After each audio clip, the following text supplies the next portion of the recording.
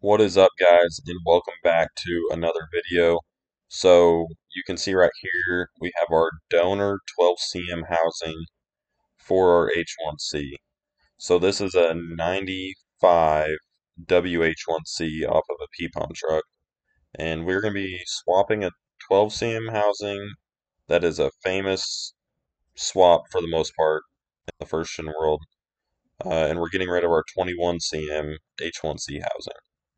So this should yield much better spool up and just manners overall. Everybody always claims that this is a complete 100% drop-in swap, whether you just swap the 12cm housing or you swap the entire charger and put an HX35 in it. Now, whether that's true, that's to be debated, honestly. Um, things do need slightly modified in my opinion, and that factory downpipe is junk. I think it should be done away with, and you should get a 4 inch aftermarket exhaust with a HX40 flange on it and just be done. But, like me today, we're going to fight the downpipe and make it work because everybody else says that it's doable. And I have done it on others. It is doable. It's just uh, a little bit more work.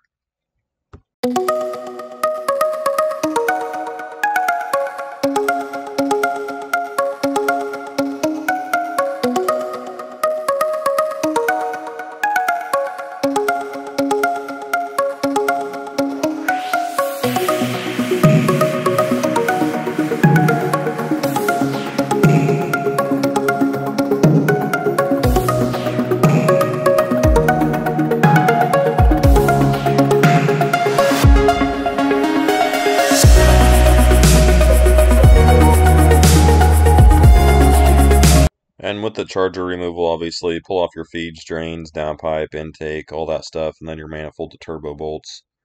But coming up here shortly, you are going to see the comparison of the 21cm versus the 12cm off the HX and WH1C housing.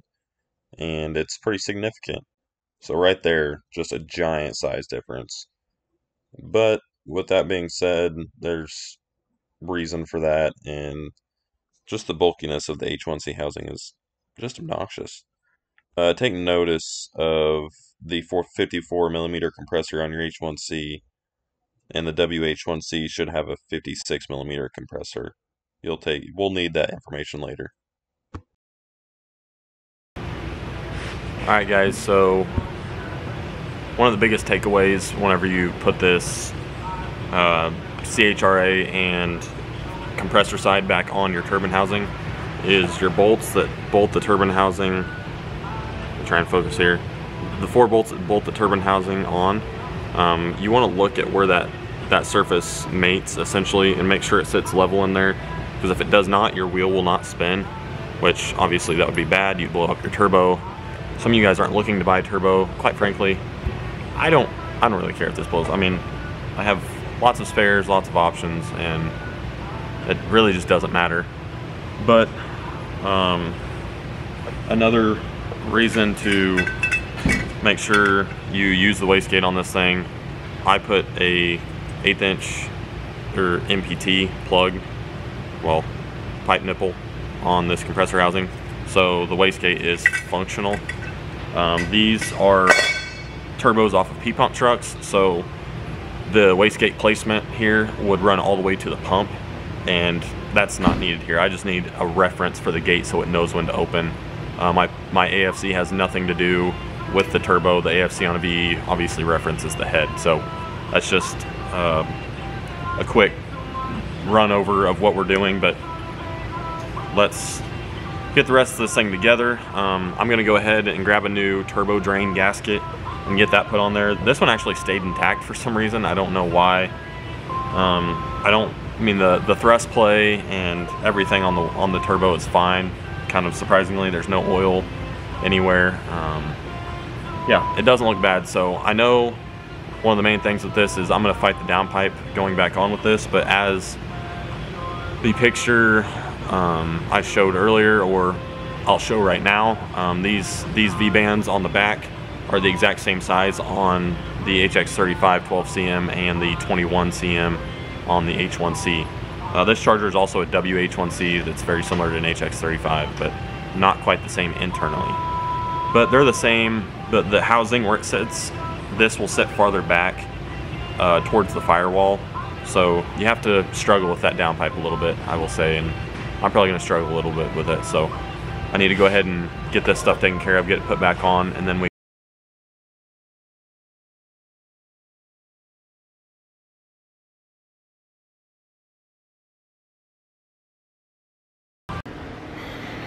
right, guys, so what I end up doing, uh, just there's a bolt down on the transmission adapter plate that holds the exhaust up. Just undo that 13 mil and the exhaust will move a little bit more freely.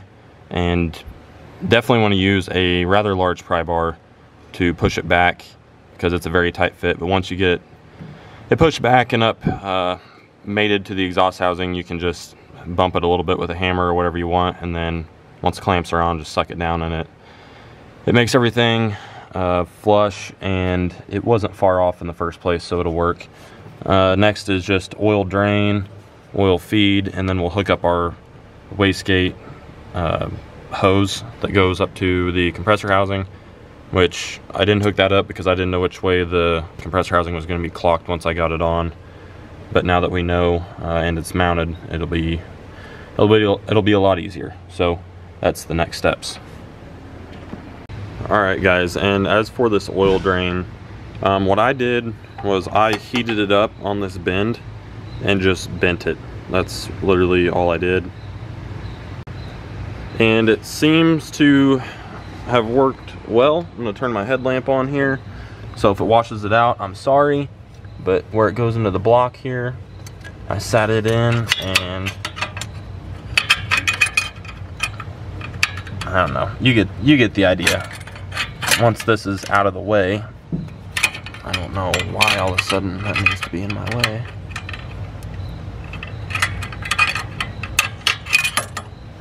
Just take that off.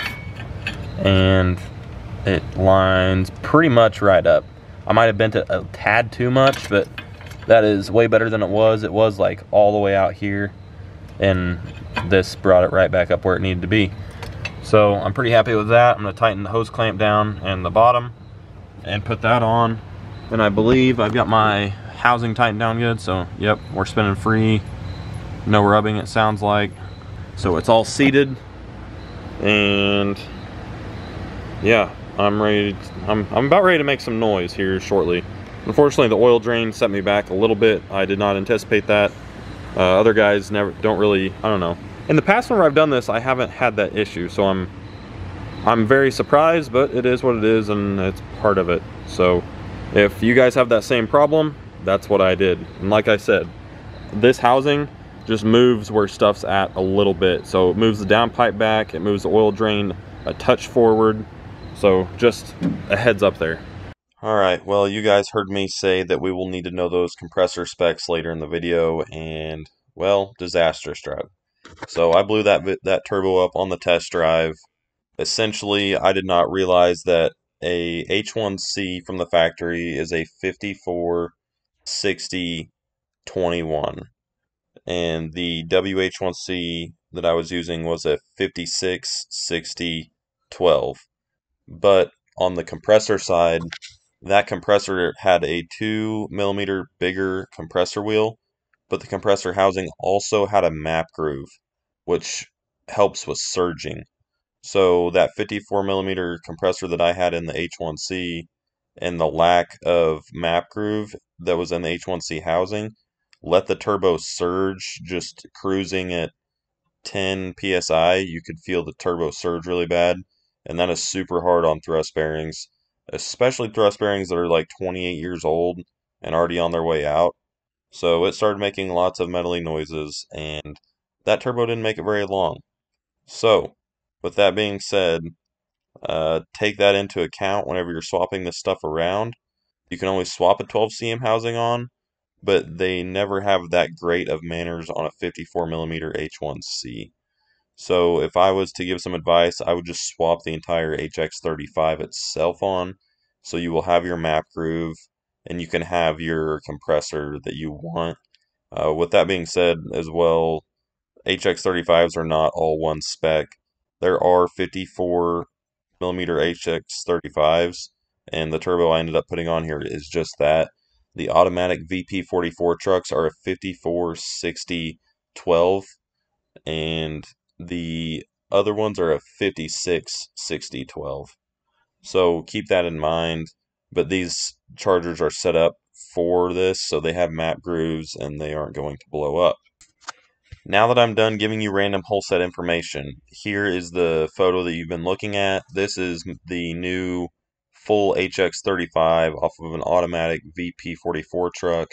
It is a 546012W, which stands for wastegate. Um, I threw that on today. It does spool good. Uh, some boost comparisons. Uh, the H1C made 21 psi of boost, and this is making 19 currently, which is right on par with what the VP44 trucks make. So that wastegate is blowing open at 18 to 20 psi currently.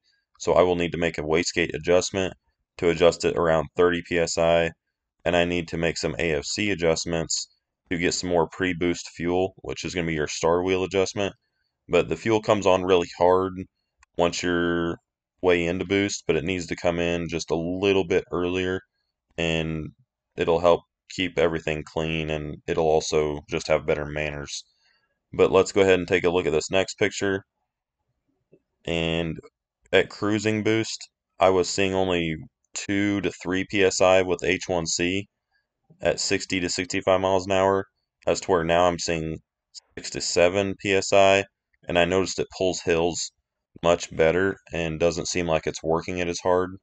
So that is also just some nice short observations I made, and I'm very happy with how it's driving right now, and it'll be a lot better with a wastegate and AFC tuning. So our next videos will be to do with that and to see how it picks up and I'll also take some videos in the cab and us ripping on it a little bit. And also enjoy this burnout video. Will it?